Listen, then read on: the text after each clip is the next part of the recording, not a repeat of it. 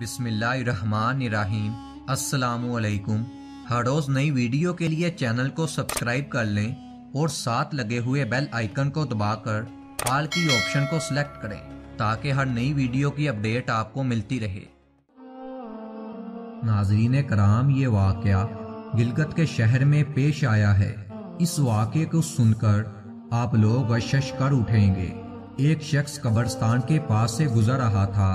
उसने एक कब्र से ये आवाज़ सुनी कि, मुझे बाहर निकालो, मैं ज़िंदा हूँ। मुझे बाहर निकालो, मैं ज़िंदा हूँ। जब एक दो मरतबा उसने ये आवाज़ सुनी तो उसने समझा कि शायद ये मेरा वहमो ख्याल है, कोई आवाज़ नहीं आ रही। जब उसने मसलसल उसकी ये आवाज़ सुनी तो उसको यकीन होने लगा, चनाचा करीब ही एक बस्ती थी। वो शख्स उस बस्ती में गया और बस्ती के लोगों को उस आवाज़ के बारे में बताकर कहा कि तुम लोग भी मेरे साथ चलो, और उस आवाज़ को सुनो जो मैंने सुनी है। चनाचा कुछ लोग उस आदमी के साथ आए, और उन लोगों ने भी वही आवाज़ सुनी जो उस आदमी ने सुनी थी। कब्र से वाकई ये आवाज़ आ रही थी कि, मुझे निकालो, मैं ज़िंदा हूँ। अब यकीन होने के बाद उन लोगों को मसला पूछने की फ़िक्र हुई कि पहले उल्मा कराम से ये मसला पूछ लिया जाए। कि कब्र को खोलना जायज़ है या नहीं? चनाचा वो लोग मोहल्ले के इमाम मस्जिद के पास गए और उनसे कहा कि इस तरह फला कब्र से आवाज़ आ रही है और मैयत बार बार ये कह रही है कि मुझे कब्र के अंदर से निकाल लो, मैं ज़िंदा हूँ। इमाम साहिब ने फरमाया कि अगर तुम्हें उसके ज़िंदा होने का यकीन हो गया है तो कब्र को खोल लो और उस मैयत को बाहर निकाल लो। चनाचा वो लोग हिम्मत करके कब्रस्तान गए और जाकर उस कब्र को खोला। अब यूँ ही तख्ता हटाया तो देखा कि अंदर एक औरत नंगी बैठी हुई है। उसका कफन गल चुका है। वो औरत कह रही है कि, जल्दी करो मेरे घर से मेरे कपड़े लाओ। चनाचा वो लोग फ़ौरन दौड़कर उसके लिए कपड़े और चादर वगैरह लेकर आए और कब्र के अंदर फेंक दिए।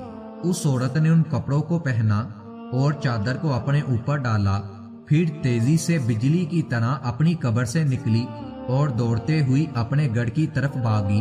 गढ़ जाकर एक कमरे में छुपकर अंदर से कुंडी लगा ली। अब जो लोग कब्रस्तान आए थे, वो सब उसके गढ़ पहुँचे। अब उनको वहाँ जाकर मालूम हुआ कि उसने कमरे के अंदर से कुंडी लगा ली है। उन लोगों ने दस्तक दी के कुंडी खोलो। कमरे के अंदर से औरत ने जवाब दिया, मैं कुंडी तो खोल दूँगी। लेकिन कमरे के अंदर वही शख्स दाखिल हो, जिसके अंदर मुझे देखने की ताकत हो।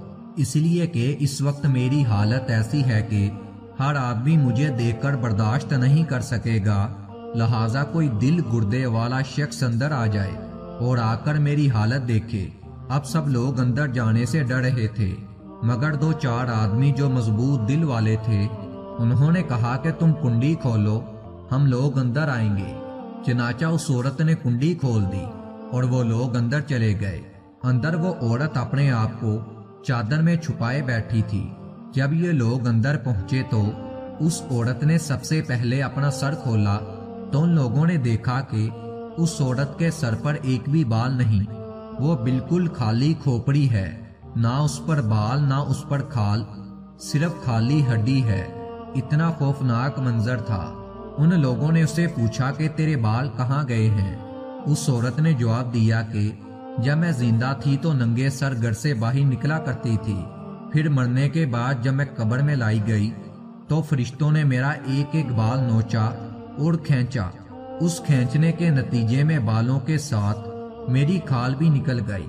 इसी वजह से अब मेरे सर पर ना बाल हैं और ना ही खाल है। उसके बाद उस औरत ने अपना मुँह खोला जब लोगों ने उसका मुँह देखा तो वो इतना खौफनाक हो चुका था कि स्वाय दांतों के कुछ नज़र न आया।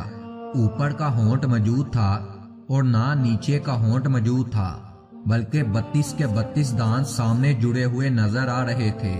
जरा सोचिए कि अगर किसी इंसान के सिर्फ़ दांत ही दांत नज़र आए तो देखकर कितना डर लगता है, जैसे कि कोई खोपड़ी हो। अब उन लोगों ने उस औरत से पूछा, तेरे होंठ कहाँ गए? उस औरत ने जवाब दिया कि मैं अपने होंठों को रंगीन करने के लिए सुर्खी, यानी कि लिपस्टिक लगाकर महरम मर्दों के सामने जाया करती थी। उसकी सजा में मेरे होंठ काट लिए गए। इसी वास्ते अब मेरे चेहरे में होंठ नहीं है। इसके बाद उस औरत ने अपने हाथ और पाँव की उंगलियाँ खोली। लोगों ने देखा कि उसके हाथ पाँव की उंगलियों में एक भी नाखून नहीं था। तमाम उंगलियों के नाखून गायब हो चुके थे। उस औरत से पूछा कि, तेरी उंगलियों के नाखून कहाँ गए? उस औरत ने जवाब दिया कि नाखून पॉलिश लगाने की वजह से मेरा एक एक नाखून खींच लिया गया। क्योंकि मैं ये सारे काम करके घर से बाहर निकला करती थी और गैर मर्दों को दिखाती फिरती थी, उनसे छुपाती नहीं थी।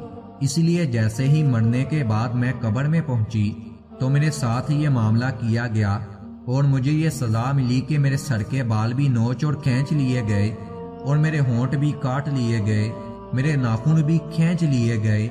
इतनी बातें करने के बाद वो बेहोश हो गई, और वो मुर्दा बेजान हो गई, जैसे लाश होती है। चनाचा उन लोगों ने दोबारा उसको कब्रस्तान में पहुँचा दिया। बहरहाल अल्लाह ताला को ये अबरत दिखाना मकसूद थी कि देखो, इस औरत का क्या अंजाम हुआ? और इसको कितना होलनाक अजाब दिया गया, ताकि दुनिया के लोग अबरत हासिल करें और इन गनाहों से दूर रहें।